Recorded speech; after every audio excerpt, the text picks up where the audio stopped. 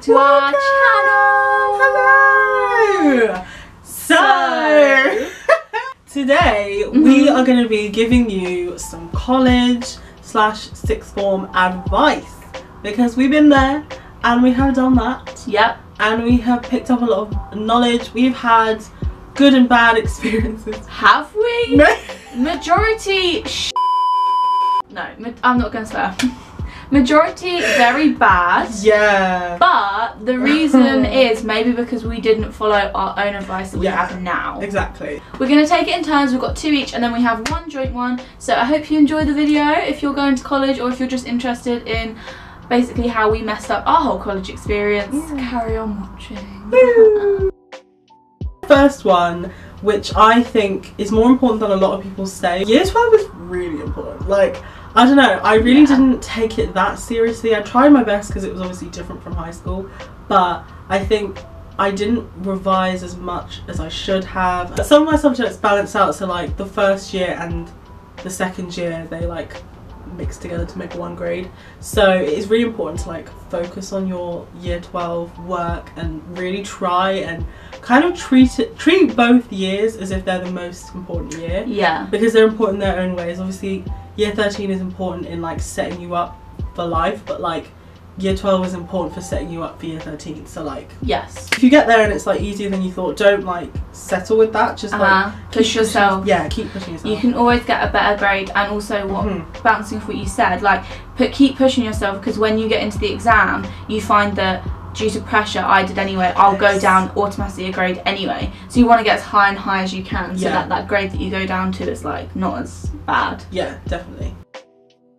My first one is very different from yours. Yours is more educational. Mine is just be as open to making and talking to new people as possible Mhm. because I thought that when I went to college I was going to make so many new friends. I thought I'd have a whole new group of friends and it would be completely different.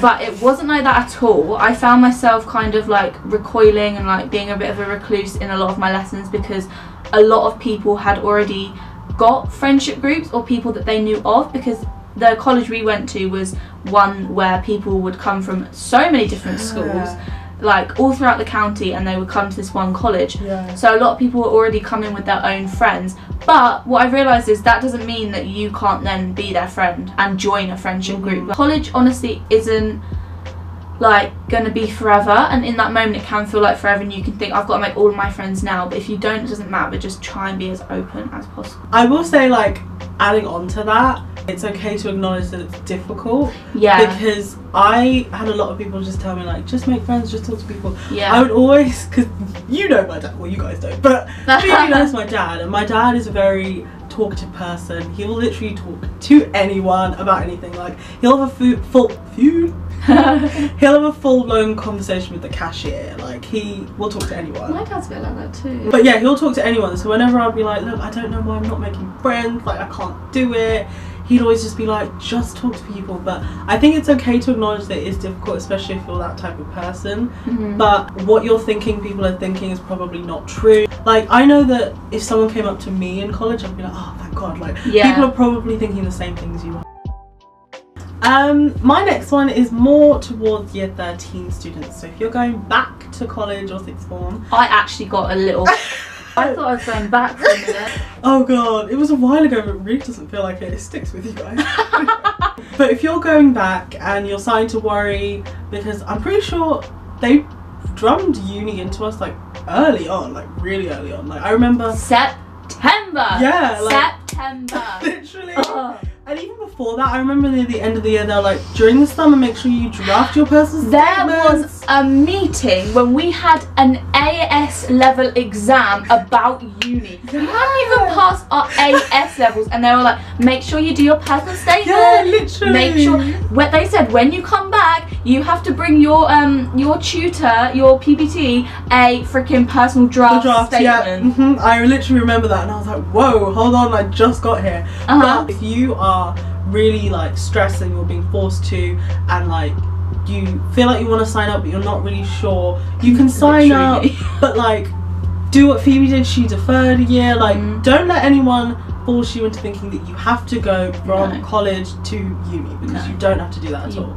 You can literally do anything you want, and I feel like no one really tells you that because they want you. It's, It's- this is a bit of a conspiracy theory, which is not meant for this video, but I literally think It's true.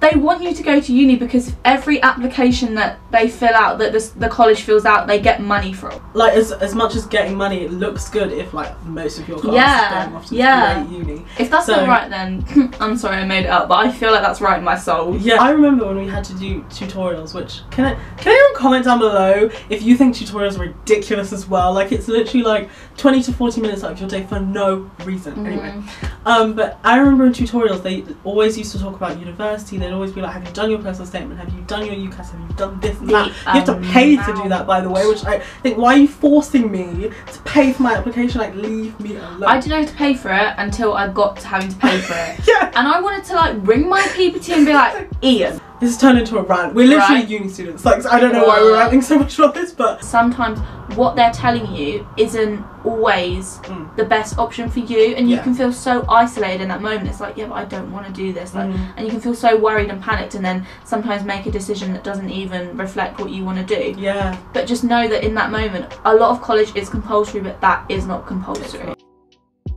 So my last one is about about teachers basically. Okay. In college or sixth form, you will find that your relationship with your teachers is very different. You're normally only doing three to four A levels, so you're not seeing as many different teachers. They're Mhm. normally teaching like fewer classes, so you're more familiar with them. Mm-hmm. I honestly think that my English teacher, Sarah, is one of my favourite people ever. Oh. She was one of the best teachers ever, ever, ever, ever. And if you needed her for anything, she would always help you and always like be there and always give you the resources you needed. But some teachers aren't like that, and sometimes you don't have that bond with the teacher. Even if you don't feel comfortable putting your hand up in the lesson and saying, What about this? What about this? You Mm. have to because there's a certain teacher that I had. I'm not going to say their name because I don't know if they would watch this. If just imagine if they did, that'd be so awkward. Oh, okay. Who would always undermark me.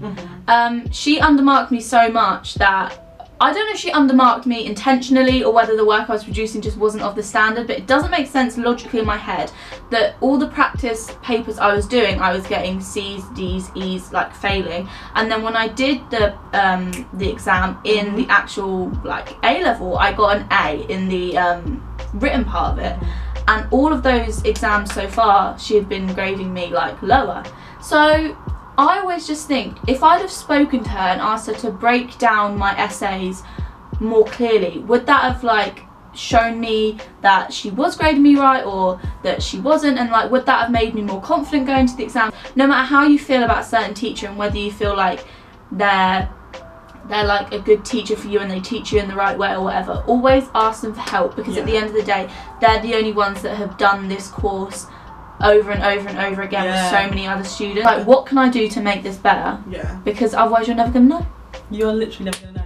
And yeah, that's another thing that I didn't think would happen is I know that they kind of leave you leave you to your own devices more so than high school, but I didn't realize just how much. If you're doing practical subjects, you'll know what I mean. Like oh my god no shade, but like if you don't actively go and be like, help me or like, am I doing all right? They usually won't tell you. Like, they'll just give you your actual grades, but they won't be like, uh-huh this is how you're doing. This is what I think you should do. Like you Mhm. need to ask. utilize your teachers basically Yeah, just utilize them So the last one is a bit more of a leisure, a bit more of a leisure a bit yeah. swim Yeah, um, and it's just to have a look at what the extracurriculars that they offer at your college slash sixth form are, and just join one. Do you know what I mean? Like I think, especially when you first go in year oh 12, yes join one. Just one. Like you Just don't have to be like I do cheerleading and then I do the school play and then I do the like just choose one random Table one. tennis. Yeah. yeah, I didn't really join a club. I just did the show. Performing it was great and like yeah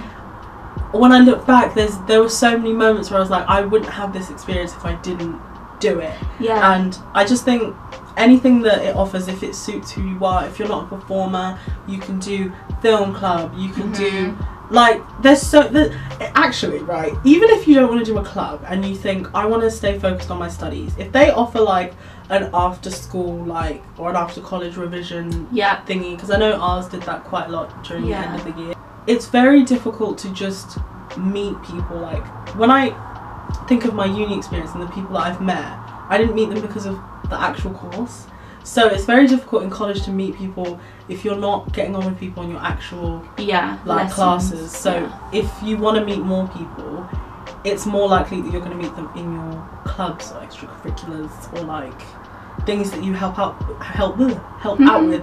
So if you want to, I don't know, some I know some six forms in particular um, have like committees where you can help out with prom. What do you call it when they're like not class presidents but like Oh, uh, like student leaders. Yeah. Literally utilize everything. Like Mm. utilizing your teachers is just one of them, but utilizing your equipment, the facilities that the college or sixth form has. Yes. I used the library like once before my um, performance study exam. I mean, Yeah. hey, I, I oh, did well. So Use the library. Yeah. Wrap it up. That's it. So that's So- it. I hope we helped. um, it was a bit random to be honest. Can you tell we had a bad experience? We did have a bad experience, but there are elements to every college experience that are good and that Yeah. shape you as a person. And obviously, you can learn from these things. If you like this video, make sure to give it a thumbs up. If you have any comments, make sure to leave them down below. If you're new to this channel and want some more, go over and subscribe. All of our social media will be linked down below. Make sure to follow us. We love you so much. Goodbye. Bye. That's the quickest I've ever done it. Woo! See her up there as you're nearing her,